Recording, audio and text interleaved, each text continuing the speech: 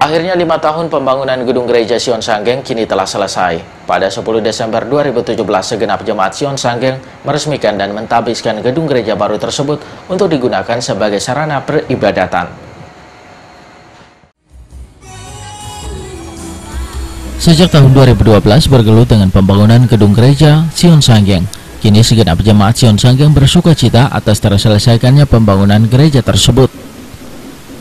Turut hadir dalam acara peresmian Gubernur Papua Barat Domingus Mandacan, Bupati Manokwari Damas Palus Mandacan, Forkopimda, Ketua Sinode GKI di Tanah Papua, Badan Pekerja Klasis, Pendeta dan Guru Jemaat, serta Jemaat GKI Sion Sanggeng.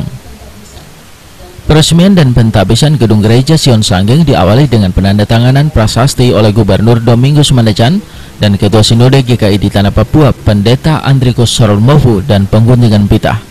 Kemudian dilanjutkan dengan penyerahan kunci dari Ketua Panitia Pembangunan kepada Ketua PHMJ Sion Sanggeng, kemudian dilanjutkan kepada Ketua Sinode GKI di Tanah Papua dan kepada Gubernur Domingus Manecan untuk membuka pintu. PHMJ dari Ketua PHMJ kepada Ketua Sinode.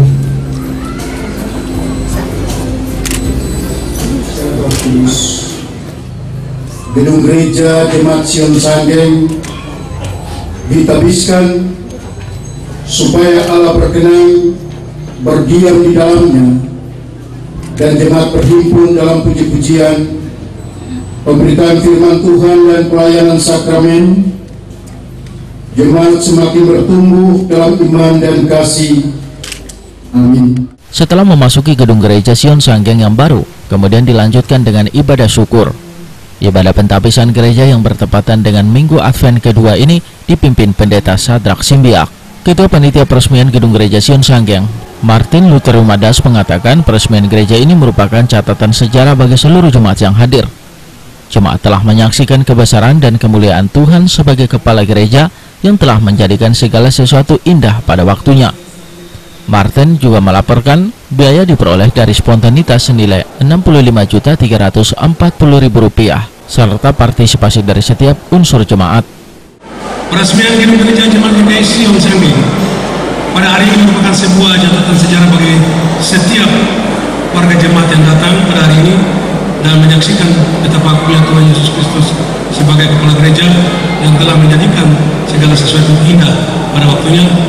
Indah pada saat ia meletakkan dasar pembangunan indah pada saat ia membangun dan indah pada saat yang merawat dan menjaga gereja yang baru saja kita habiskan untuk dinikmati peresmiannya di hari ini.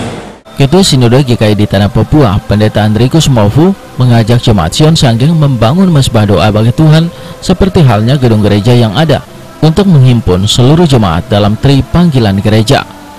Melalui kesempatan ini pula, Pendeta Maufu mengajak umat untuk memulai perubahan dari dalam keluarga jemaat sehingga dapat membangun rumah doa.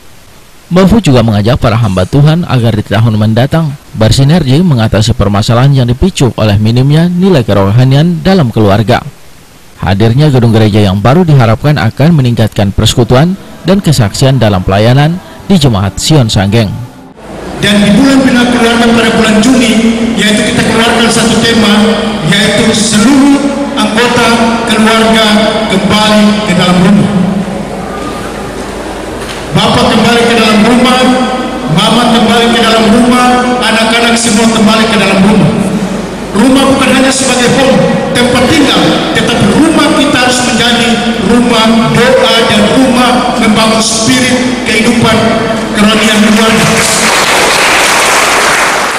Gubernur Papua Barat Domingus Mandacan menyebut gedung gereja Jemaat Sion Sanggeng adalah investasi pembangunan spiritual di tanah Papua Barat yang dihasilkan oleh Jemaat Sion Sanggeng di mana telah menambah fasilitas pelayanan di Papua Barat. Dirinya mengingatkan agar tugas semua jemaat tidak sampai di situ saja, melainkan juga melengkapi sarana prasarana. Dalam kesempatan tersebut, Gubernur juga mengajak seluruh jemaat untuk menjaga kebersamaan, persatuan dan kesatuan antar suku, agama, ras, adat budaya dalam suasana Natal ini. Hari ini saya menyaksikan bahkan ikut meresmikan pimpinan gereja Jemaat Sager. Hal ini berarti bahwa investasi pembangunan spiritual Papua Barat yang dihasilkan oleh Jemaat Sion Sanggen telah menambah fasilitas pelayanan bagi Tuhan. Keberhasilan ini merupakan suatu realitas atas doa dan kerja keras jemaat dan semua pihak yang terlibat dan terus memberikan peran dalam pembangunan rumah Tuhan. Gedung gereja baru Jemaat GKI Sion Sanggeng yang menelan anggaran lebih dari 5 miliar rupiah. Dia ketahui terdiri dari 11 ruangan. Novasi Jabat, Christine Bulamei mengabarkan.